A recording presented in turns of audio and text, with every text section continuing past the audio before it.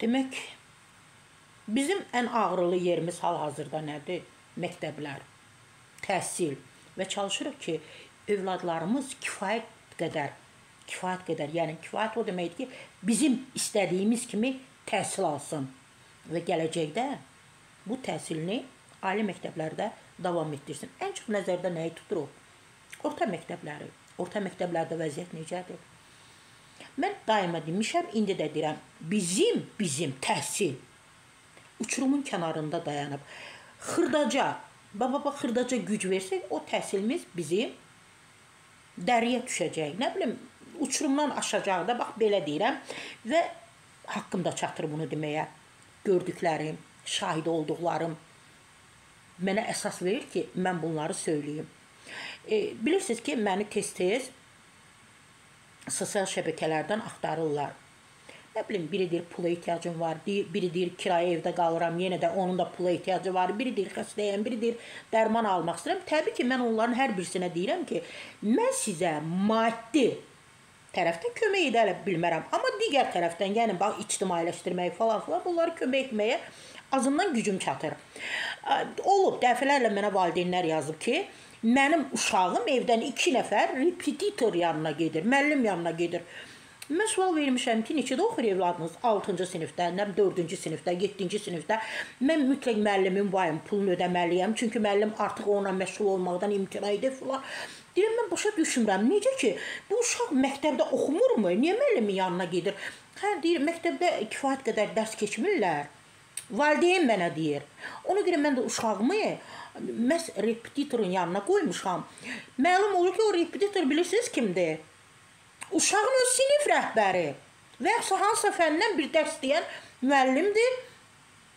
Repetitorluq edir özü evində. Bəs yaxşı bu dövlət bu qədər məktəblərə təminat ayırıb, təminatı var. Məktəb, sinif otaqları, nə bilim partalar, belə deyək də uşaqların əyləşməsi üçün nə bilim qələmi, kağızı, müəllimlərə əmək haqqı, e, süpürkəsi, lampası, nefti, hər şey odunu, ocağı, yanacağı, hər şey bu dövlət təminatı var bu məktəbə. Əgər bunlar varsa, bu uşaqların oxuması üçün bunlar edir də dövlət ki, uşaqlarımız oxusun azından. Əgər bu dövlət bunları verirsə, bunun qarşılığında, qarşı, qarşılığında Müəllimlər evdə dərs keçirsə, repetitorluq edirsə, həm məktəbdən maaş al, əmək haqqı alır, həm orada bu tə, belə təhsil bizə lazımdırmı? Bax, məhz belə təhsil bizə lazımdır. Yox, mən düşünürəm belə təhsil lazım deyil bizə. Müəllimlər, siz, siz prezidenti aldadırsınız, dövləti aldadırsınız, dövlət başçısını aldadırsınız, təhsil nazirini aldadırsınız, valideynləri aldadırsınız, hamını aldadırsınız. İçərinizdə bax, həmişə demişəm, buğda arpa dənəciyi boyda bir vicdan olsun. Bir vicdan olsun məktəbin direktorları. Hər uşağa görə müəllimlərdən 10 manat pul alırsınız ki, gəlməsin dərsə apar evində məşğul ol. Niyə? Siz pul qazanmalısınız, siz varlı olmalısınız, sizin oğlunuzun maşını olmalıdır, qızınızın gözəllik salonu olmalıdır, nə bilim, nələri nələri olmalıdır. Bu uşaqlar kör-köranə gəlib getməlidir məktəbə. Bəs yaxşı, bunun Sonda nəticə nə olur? Adamlar var, valideynlər var, pulu yoxdur verməyə. Məsələn, mənə müraciət ediblər ki, Sərxan, bizə kömək elə. Mənim oğlum 6-cı sinifdə oxuyur. Repetitor yanına gedir. Repetitor da bunun müəllimidir, sinif rəhbəridir. Deyirəm, ay xanım, bu uşaq hələ 6-cı sinifdə oxuyur da. Qoy biraz böyüsün, 10-cu, 11-ci, azından 9-cu sinifdə. Yox, yox. Mənim uşağım, demək bu adam yeməyə çörək tapmır. Bu adam geyməyə paltar üçün pul tapmır ac qalır, susuz qalır. Amma məndən pul alır, məni də ac saxlayır, susuz saxlayır. Amma o müəllimi nə edir? Müəllim varlı olmalıdır. Müəllim, sən o, o repetitorlar var. Siz cinayətkarsınız. Hər biriniz məsuliyyətə cəlb olunmalısınız. Hər biriniz məsuliyyətə cəlb olmalısınız.